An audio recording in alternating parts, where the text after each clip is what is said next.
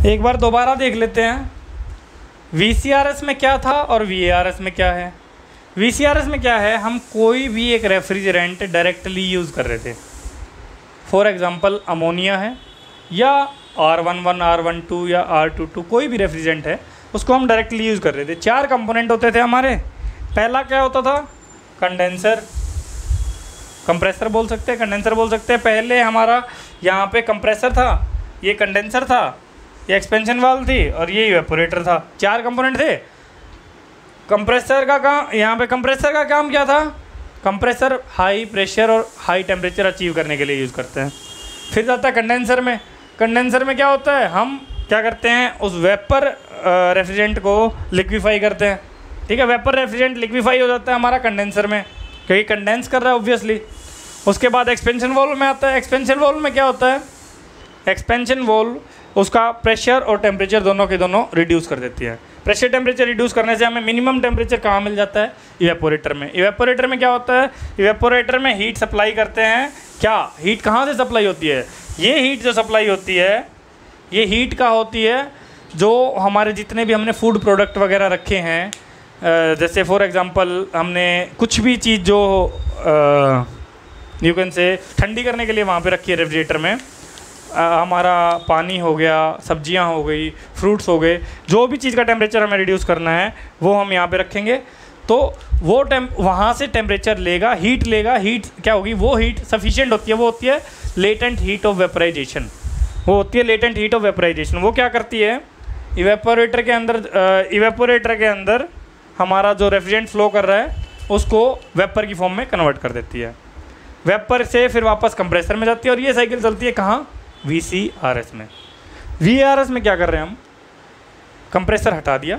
Compressor की बजाय हम क्या कर रहे हैं? तीन इक्विपमेंट यूज़ कर रहे हैं। कौन कौन से?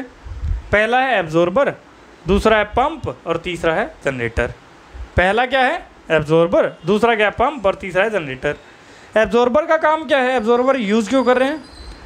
हमें पता है कि वेपर जो होता है वेपर का जो वॉल्यूम है, वो लिक्विड के वॉल्यूम के कंपैरिजन में बहुत ज़्यादा होता है at same temperature and pressure तो हम क्या करते हैं? अगर वेपर अमोनिया का हमें कंप्रेसर में क्या करते हैं हम? प्रेशर और टेम्परेचर बढ़ाते हैं। अगर अमोनिया का प्रेशर और टेम्परेचर बढ़ाना है तो हम क्या करते हैं? उसको लिक्विड के साथ मिक्स कर देते हैं। लिक्विड के साथ मिक्स करते हैं तो हमारा क्या है? लिक्विड वाटर और अमोनिया का यहाँ पे ऑलरेडी सॉल्यूशन होता है एब्जॉर्बर के अंदर। यहाँ से क्या होता है? लो प्रेशर अमोनिया वेपर इसके अंदर चला जाता है। वो इसके साथ मिक्स होता है। मिक्स होने से, जब अमोनिया और वाटर मिक्स होता है तो वो हीट लिबरेट करते हैं, ठीक है? अमोनिया और वाटर जब मिक्स होगा तो वो हीट लिबरेट करेंगे। और हीट लिबरेट करने के बाद क्या होगा? पंप जो है हमारा पंप के अंदर क्या होगा? पंप क्या करेगा? इसका प्रेशर बढ़ा देगा। पंप क्या करेगा? प्रेशर बढ़ा देगा। प्रेशर बढ़ाने से क्या होगा? और पंप आप कहोगे कि भाई इलेक्ट्रिसिटी का तो यूज़ हो गया। इलेक्ट्रिसिटी का use as come in pump is very very less as compare to in compressor ठीक है? फिर यहाँ पे कहाँ आ गया ये? जनरेटर के अंदर। जनरेटर के अंदर हमारा हाई प्रेशर पे अमोनिया और वाटर का मिक्सचर आ गया। और जब अमोनिया अमोनिया वाटर का मिक्सचर आया, ये क्या करेगा?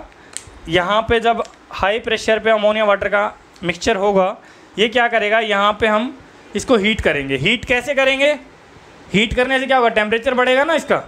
तो टेम्परेचर जो है टेम्परेचर बढ़ाने के लिए हम इसको हीट करेंगे और वो टेम्परेचर बढ़ाने के लिए हम लकड़ियाँ भी यूज़ कर सकते हैं, लकड़ियों को जला के भी यूज़ कर सकते हैं सोलर लाइट का भी यूज़ कर सकते हैं या कुछ और भी यूज़ कर सकते हैं। ठीक है जी? तो ये था जनरेटर के अंदर। जनरेटर में क्या होगा? जब प्रेशर और टेम्परेचर बढ़ जाएगा तो हाई प्रेशर और टेम्परेचर पे अमोनिया और वाटर सेपरेट हो जाते हैं। अमोनिया और वाटर सेपरेट हो जाते हैं। इसके ऊपर हम क्या लगा देते हैं? एनालाइज़र। क्या लगा देते हैं? एनालाइज़र। एनालाइज़र का मेन काम क्या होता है? एनालाइज़र अपने अंदर से अमोनिया को तो पास होने देता है बट वाटर को वहीं पे रोक लेगा। वाटर को रोक लेगा तो क्या करेगा? वाटर को कंडेंस करवा देगा। कंडेंस होकर वाटर वापस गिरेगा। वाटर वापस गिरेगा। वाटर क्या होगा? कंडेंस होकर वापस गिरेगा। और वापस जो है वो पीआरवी के थ्रू प्रेशर उसका रिड्यूस हो जाएगा टेम्परेचर रिड्यूस हो जाएगा। ये वापस इसी कंटेनर में आ जाएगा। जो हमारा एब्जॉर्बर के अंदर था, ठीक है? जब यहाँ पे हीट कंटिन्यूसली लिबरेट हो रही है तो उसको निकालने के लिए हमने कूल वाटर भी फ्लो करवा रखा है। लास्ट में हमारे पास रेक्टिफायर है। रेक्टिफायर का मेन काम क्या है? एनालाइज़र जो है 90 परसेंट हीट निकाल लेता है। रेक्टिफायर जो है रेक्टिफायर उस हीट को यू कैन से 90 परसेंट वाटर निकाल लेता है। रेक्टिफायर क्या करता है? 100 परसेंट कर देता है उसको। ठीक है? इसके बाद हमारे पास हाई प्रेशर अमोनिया अचीव हो गई हमें। हाई प्रेशर अमोनिया कंडेंसर में जाएगी, वहाँ पे वो कंडेंस होकर लिक्विफाई होएगी, उसके बाद एक्सपेंशन वॉल में जाएगी और एक्सपेंशन वॉल के बाद एक्सपेंशन वॉल में उसका प्रेशर टेम्परेचर रिड्यूस होगा और हमें रेफ्रिजरेशन मिल जाएगी। ठीक है जी? This was all about V A R S अगर आपको वीडियो पसंद आए तो वीडियो को लाइक ज़रूर कीजिए चैनल को सब्सक्राइब कीजिए और बेल आइकन को प्रेस कीजिए ताकि आपको आगे भी ऐसी इन्फॉर्मेटिव वीडियो मिलती रहें और आप यू कैन से अपनी प्रिपरेशन कंटिन्यू रख सकें।